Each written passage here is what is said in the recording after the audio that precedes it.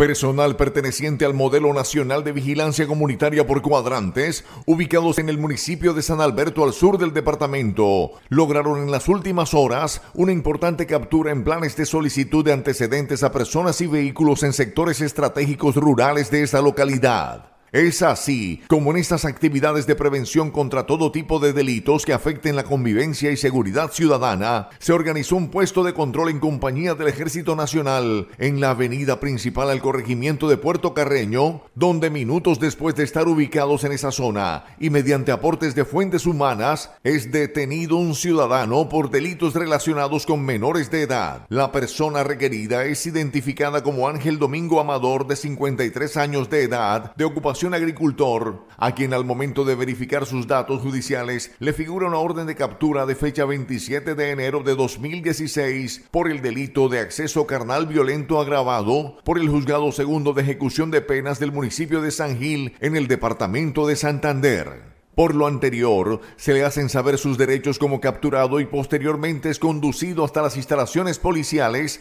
para llenar la documentación correspondiente y ser dejado a disposición de la autoridad que lo solicita.